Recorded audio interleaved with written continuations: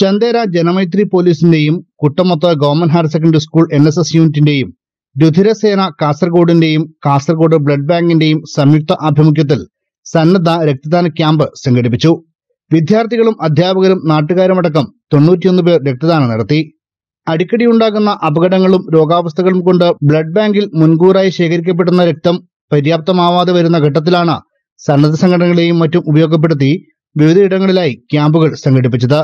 School ഓഡിറ്റോറിയത്തിൽ വെച്ച് നടന്ന ചടങ്ങ് Chandera sub inspector M V Sreedas ഉദ്ഘാടനം ചെയ്തു. വാർഡ് മെമ്പർ രാജേന്ദ്രൻ പയ്യാടകത്ത അധ്യക്ഷത വഹിച്ചു.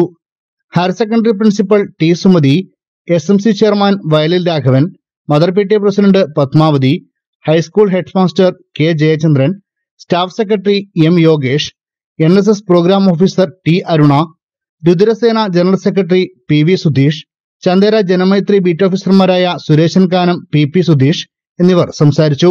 രക്തദാനം നടത്തിയവർക്ക് സർട്ടിഫിക്കറ്റുകളും വിതരണം ചെയ്തു.